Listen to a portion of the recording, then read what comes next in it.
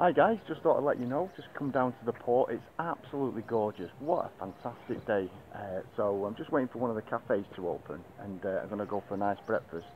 Um, Port Banús is just stunning, for the ones that haven't been, it's absolutely superb, really uh, recommend coming down. So uh, speak to you soon, bye for now.